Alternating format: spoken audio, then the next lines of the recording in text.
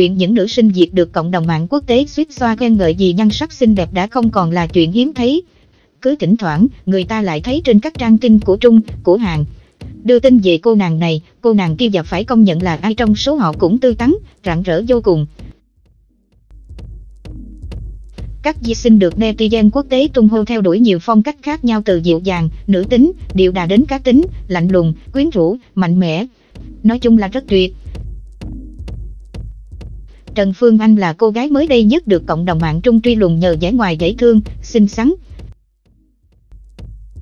Qua gì đến từ Việt Nam sở hữu lượng follow lên tới hơn 140k lượt, sở hữu nhan sắc xinh đẹp, ngọt ngào, tươi mới, là những gì mà một trang báo Trung đã dùng để miêu tả cô bạn sinh năm 1998 này. Được biết, cô bạn vừa tốt nghiệp trường Đại học Kinh doanh Công nghệ Hà Nội. Hiện tại, Phương Anh đã làm mẫu ảnh cũng như kinh doanh tự do. Với công việc mẫu ảnh, nhận sản phẩm hiện tại, Phương Anh cũng hết sức trân trọng và luôn cố gắng làm việc thật tốt. Phương Anh tiết lộ, thu nhập của cô bạn luôn ổn định ở mức từ 50 trừ 70 triệu tháng.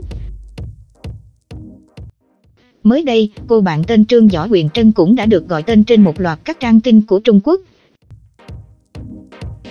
Huyền Trân gây ấn tượng với gương mặt xinh đẹp không tì vết, body nóng bỏng quyến rũ, đặc biệt là trong những tấm hình diện bikini. Không chỉ sở hữu nhan sắc nổi bật, quyền Trân còn đốn tim người đối diện bởi nụ cười tươi rói cùng má lúng duyên duyên. Cô nàng hiện đang là chủ một ba khá lớn tại thành phố Hồ Chí Minh. Dương Khánh đi là một cái tên khác đã xuất hiện trên báo Trung. Đặc biệt hơn, nhiều cư dân mạng còn giật mình khi phát hiện cô nàng được netizen đại lục thả ly ke điên đảo này lại sở hữu nhan sắc khá giống với Linh Ca. Khánh Ly sinh năm 2000, hiện đang là sinh viên của trường Đại học Hà Nội. Ngoài việc học ở trường, Ly cũng tham gia làm mẫu ảnh. Ngoài gương mặt xinh đẹp, body nuột nà của Khánh Ly cũng khiến nhiều người trầm trồ. Về việc được nhận xét là giống Linh Ca, Khánh Ly thẳng thắn bày tỏ, thật ra mình cũng khá không thích việc bị nhìn nhận là giống ai đó. Nên mình đang dần khẳng định và làm mới bản thân. Giờ thì mình không quan tâm đến những lời đấy lắm.